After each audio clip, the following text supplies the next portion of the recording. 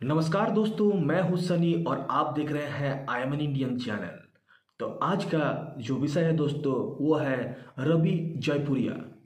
रवि जयपुरिया एक भारतीय अरबपति व्यवसायी और आरजे कॉरपोरेशन के अध्यक्ष हैं। KFC Pizza Hut Costa Coffee और T W G tea outlets का ब्रांड और संचालन करते हैं।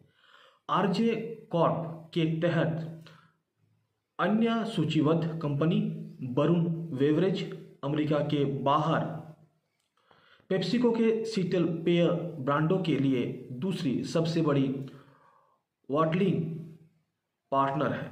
उन्हें भारत का कोला किंग कहा जाता है। जयपुरिया ने संयुक्त राज्य अमेरिका में व्यवसाय प्रावधान का अध्ययन किया। और उन्नीस में भारत लौट आए। वो कोला कोका कोला के लिए एक बॉटलर के रूप में पारिवारिक व्यवसाय में शामिल हो गए।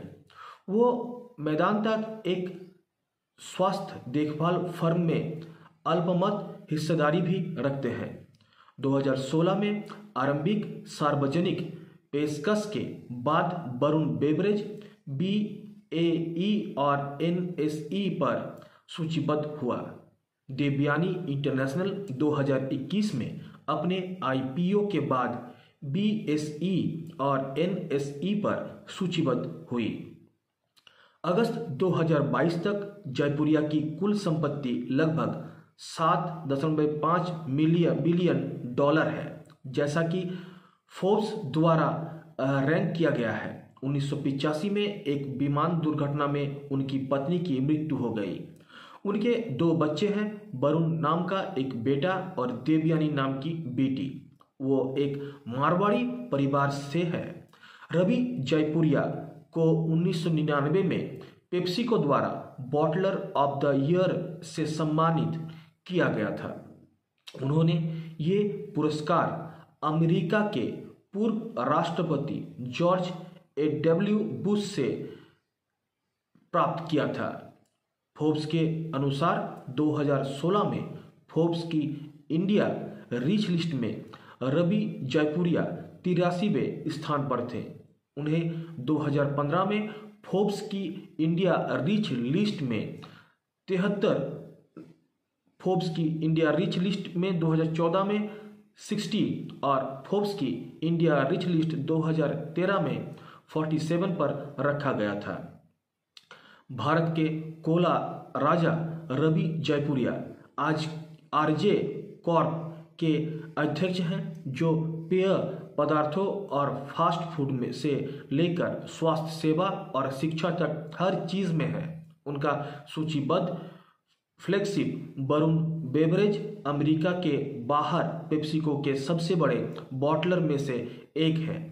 तीन भाइयों में सबसे छोटे जयपुरिया ने अमेरिका में पढ़ाई की और उन्नीस में कोका कोला के बॉटलर के रूप में पारिवारिक व्यवसाय में शामिल होने के लिए स्वदेश लौटे।